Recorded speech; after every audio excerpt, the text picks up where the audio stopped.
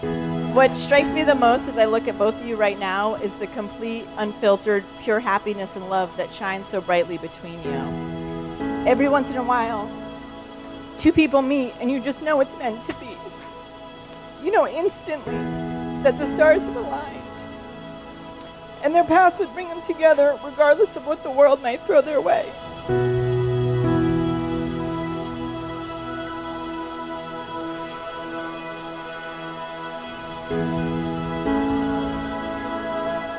Is one of the most hardworking, thoughtful, generous people I know. Whatever she puts her mind to, she achieves like no one else can.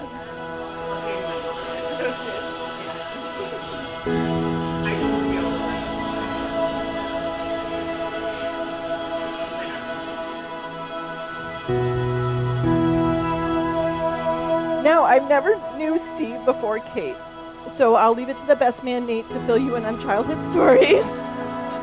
But what I can tell you is Steve is the perfect man for Kate. And I know this because Kate is the same woman she's always been, but better.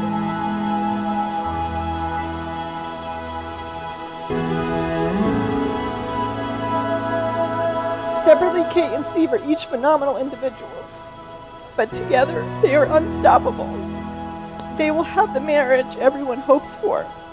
They are truly a perfect match, and I know they will be able to ride the waves of life together as friends, as soulmates, and as husband and wife. I know personally for me, this day is pretty surreal because it feels like just yesterday, me and Stevie were in the family Oldsmobile riding around the island trying to catch a glimpse of all the ferry boats and all the fire trucks around the island.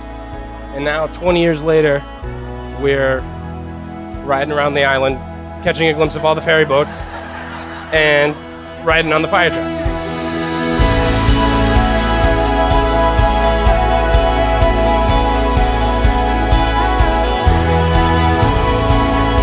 having pledged their fidelity to one another, to honor, love, and cherish one another, and in the presence of this gathering, and by the authority vested in me by the Governor of the Commonwealth of Massachusetts, I now pronounce you husband and wife.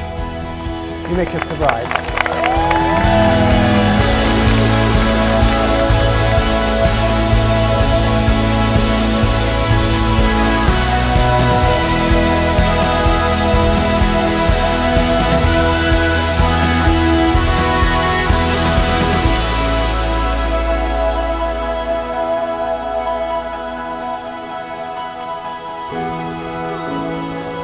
Today should always be your most wonderful day.